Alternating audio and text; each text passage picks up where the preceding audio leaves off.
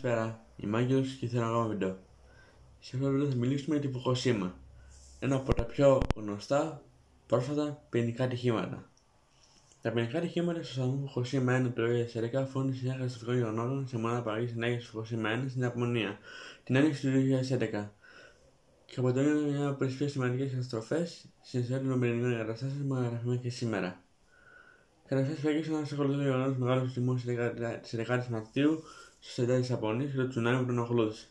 Τη στιγμή μετά τα γενικά γεγονότα, συνέβησαν καταστροφέ στου πυρηνικού αντιδραστήρε Νταίτσι στη Φουχοσίμα 1 στην Ιαπωνία, όπου προκάλεσε την καταστροφή τη Φουχοσίμα.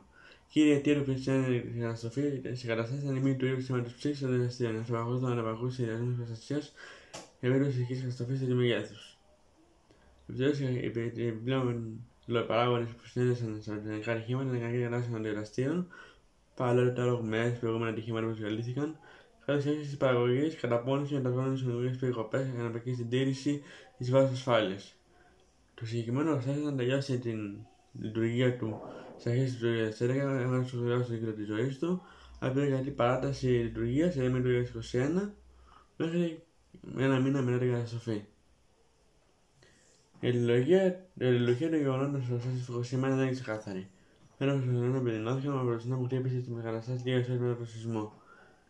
Η μονάδα περιλάμβανε 6 αντιδραστήρες, ζέρο υδάτος. Η μέρα του σεισμού λειτουργούσαν αντιδραστήρες 1, 2 και 3, ενώ οι υπόλοιποι είχαν τεθεί εκτός λειτουργίας και συντήρηση. Με το σεισμό εξήχθηκαν ευτυχώ οι ράδιο ελέγχου ανάμεσα στα πυρηνικά καύσιμα σε όλους τους αντιδραστήρες, ώστε να καλύψουν μια διακοπή η άμεση θέμα του νερού από τις αστυνομικέ αντιδράσει. Παρ' όλα αυτά, τα κάψιμα του πυρήνα του αντιδραστήρα είχαν ακόμα για την ανάγκη ψήξη. Τουλάχιστον για μερικές μέρες, ώστε να αποφευθεί έστω το λιώσιμο της κατασκευής από την αναμενόμενη άνοδο τη δημοκρασία και κατά επέκταση η ενέργεια στο περιβάλλον. Αμέσως μετά το σημείο χάπηκε η παροχή ηλεκτρικού ρεύματο και μπήκε εντό λειτουργία τη ψήξη με συντηλίε νερού. Οι ρυθμίσει εγκατέθηκαν τότε στη λειτουργία, η δίζελ υδρογενήτη επειδή λειτουργούσαν για μερικές ώρες συντηρώντα το σύστημα ψήξη που στιγμή που επιφυσάβει το τσουνάμι και την κατάσταση εκτό λειτουργία, καταστρέφοντά τη. Ήρθε μια φάση τότε να ανακτονώσουν την ανανοένα αυξημένη πίεση στο πυρήνα των αστείων 1 και 3, απέναντι στην ελφή για ενεργό αρμό να αποτελέσει την ενδεχόμενη έκρηξη οδηγού στη τύχη του κελίφου του. Προφανώ η ενέργεια δεν είναι επαρκή και τα μεγαλύτερα να αυξάνεται με επένδυση δηλαδή ελέγχου με λόγω αξίμα από ζυρκόνια να θυμαθεί στου 200 βαθμού Κελσίου. Το ζυρκόνιο αντιδράσει το νερό δίνοντα οξύδιο του ζυρκονίου και υδρογόνου. Όταν ο ενεργό ατμό που περιέχει υδρογόνο μπήκε από τι βαλβίδε και τόνωσε στην ατμόσφαιρα, το υδρογόνο αντέδρασε με το οξυγόνο είτε του αέρα είτε του νερού και του νεροτορμού και ακολούθησε χρήση. Σύμφωνα με τη ρίση, το κέλυφο του πυρήνα δεν καταστάθηκε. Κατέθεσε όμω μερικό εσωτερικό περίβλημα που ήταν έτσι ενδεχομένω να μαθαίνει την πίεση. Χωρί ιατρική αρχή και χωρί σύστημα οξυνώσεων και αντιλήγων καταστάθηκε για την του περιβλήματο των εναισθήρων, υπήρξε φάση να ψήξουν τα υπεύθυνα με πυρηνικά καύσιμα και την εισαγωγή θαλασσινού νερού σε μια τελευταία προσπάθεια να αποφευθεί η επιπλήξη του κελίφου στο αντιληπτήριο των στήρων. Στο σημείο αυτό φαίνεται να υπάρχει ήδη τύχηση στο ζευγάρι που πήραν χασίποτα σε πυρηνικά καύσιμα. Έτσι όμως αναγκαστικά χρονώντα συνεχώς ήταν ραδιενεργός, παίρνοντα κάθε χρόνο 37 και γιώδη χρόνο 31. Χρόνο ημιζωή 30 χρόνια και 8 μέρες. Αντίστοιχα και να κάνει επαγγελματίε επικίνδυνα κατά περίπτωση. Σύμφωνα με τις αναφορές, οι ειδικοί πίνακες που είναι αναγκαίοι για την λειτουργία των Ινδογεννήτων για να πραγματοποιηθεί το σύστημα ψήξη, σαν σε υπόγειο χώρο πλημμύρισε το τσουνάμι. Η πρώτη έκρηξη σημειώθηκε μια μέρα μετά το σεισμό, στις 12 Μαρτίου. 11 Μαρτίου ήταν ο σεισμός και το τσουνάμι, και η ενέργεια αποκλείθηκε σε μια άλλη δυσκούση στον άλλο του Ρίσιο από δεύτερο όρο. Η περιοχή κηρύχθηκε σε γράση τη ανάγκη και τάθηκε η κίνηση γονέων κατοίκων σε αυτήν 20 χιλιόμετρα, 12 μίλια από τον σταθμό. Αργότερα η εξετάσταση τη ανάγκη κηρύχθηκε επίση το γονέων Φουκουσίμα 2 στην 1 χιλιόμετρων, 1,9 μίλια. Η Διεθνή Επιτροπή Ατομική Ενέργεια, η ΕΕΑ, ζήτησε επιγόρω ενημέρωση για κατάσταση του εργατού στην Ιαπωνία. Σύμφωνα με του Ιάπωνε, δεν έχει εμφανιστεί καμία ζημιά στο τσάνο κέλεφο στην διαστήρα να υπάρχει περίπτωση καταστροφή του. Όπως ήταν ο πυρηνικό στο Ντέσ και στην Πεσιλβανία, το θύμα Ράνερ που είχαμε δει και στο προηγούμενο βίντεο, το 1979.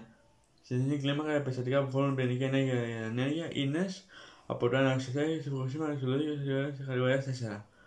Αλλά αργότερα, με την αξιολόγηση των που ακολούθησαν, αναδείχθηκε στον σημαντισμό 5 τελικά στον 7. Τον το βαθμό επικίνδυνοτητας. Μέχρι τότε ήταν μόνο το τωρινό του Τσόνοπελ είχε αξιολογηθεί ως θέτο. Σήμερα στις αναφορές στο τοπικό μέσο περίπου 90 χάρη τη περιοχή εγκατέλειψαν στην ενέργεια.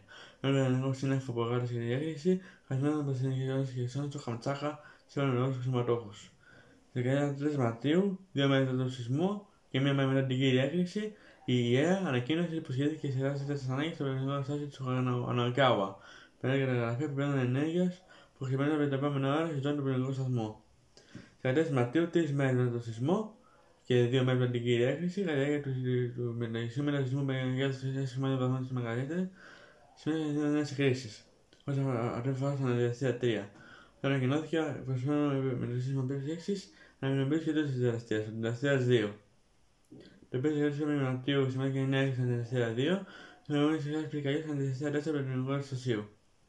Από την έκρηξη πέσει βλάβη ακόμα και το ιστορικό σαχαρκίνδυνο προστατευτικό και κίνδυνο προ τη δραστήρα. Έχει στην δραστήρα 2, κατέξυσε το πυρήνα του πυρήνα με ορτένα στην δραστήρα διαρροή ενεργών υλικών κατά και ενεργό τμού. Και είχαμε μετρηθεί τη μέση ενέργειας υπήρξε περίπου κατά 400 φορέ το όριο του σύστημα με το επόμενο όριο. Και τώρα σχετικά με το σύστημα αποκατάστασης. Η χειρίστη εταιρεία του πυρηνικού σταθμού τη Φουκοσίμα, η TEPCO, ανακοίνωσε ότι σύμφωνα με υπολογισμούς θα τα αποκατασταθεί πλήρως σε 6 με 9 μήνες και πότε είναι ένα σχέδιο αποκατάστασης. Το σχέδιο χωρίζεται σε δύο μέρη. Ο πρόεδρος της εταιρείας του Κινέζη Σακαμούτσα δήλωσε ότι οι εργαζόμενοι να σε την ψήξη των δικαστήρων και αναλώμενων πισίνων καύσιμων, να ασφαλίσουν σε ανοιχτό χώρο ενεργοτική εξαιρετικά μολυσμένου νερού και να μειώσουν την ευεργία κοινοβολίας, ώστε να υπολόγισε ότι θα διαρκέσει τρεις μήνες. Η δεύτερη φάση θα κάνει να διαρκέσει τρεις με έξι μήνες. Κατά την περίοδο αυτή, η εταιρεία αναφέρει να αναφέρει δημοκρασία του νερού στου διεθνεί υπό πλήρη έλεγχο. Στι 8 Απριλίου, η διαχείριση τη εταιρεία έστειλε το ποινικό σώμα του Φουκοσίμα τη δύο τηλεφωνόμενο ρομπότ, το νούμερο 3, ελπίζουμε ότι τα ρομπότ Passport, έτσι ονομάζεται το ρομπότ, θα βοηθήσει τους επιστήμονες σε δίνοντα δεδομένα εργασία στο σταθμό. Στη συνέχεια, επειδή εξαιτία τη βιβλία ενέργεια, ένας γράφει να εισέλθει.